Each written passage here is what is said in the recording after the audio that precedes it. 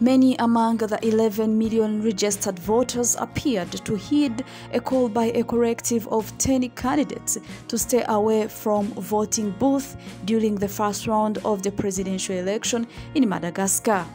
The country's election management body, CENI, unveiled the provisional participation rate late Thursday.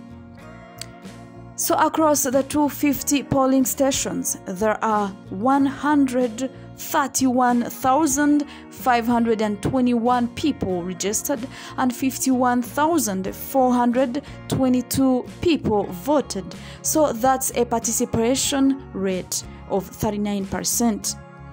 The CENI is expected to proclaim the provisional consolidated results between by November 25th. It will then be up to the country's High Constitutional Court to proclaim the official results of the election at the beginning of December.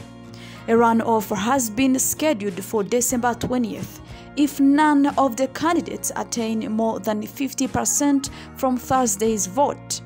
Speaking on, on behalf of 10 of 12 opposition candidates, Hajo Andrianainarivelo praised Thursday, November 16th what he called voters' maturity.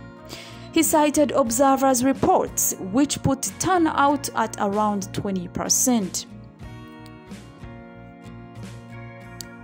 This proves that the, Mada the Malagasy people have shown their political maturity by staying at home and heeding the call of the corrective and all the nation's vital actors not to endorse an election that was stolen.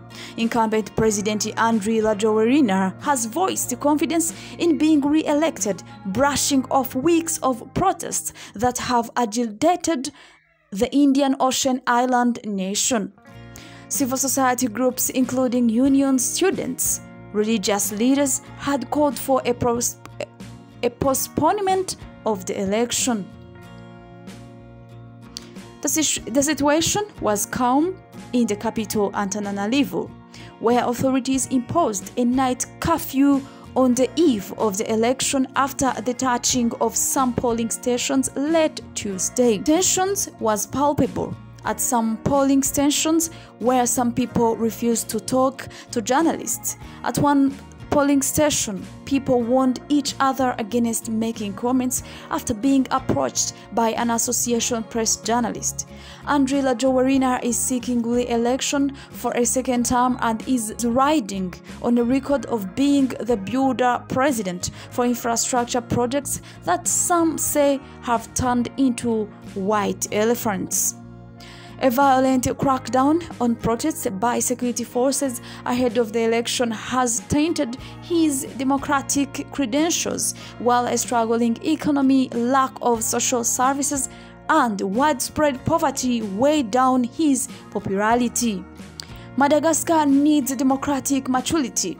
The only democratic way to get into power today and I am fighting for it is elections, said Rajoelina after casting his ballot Ambatobe, a rich district of the capital.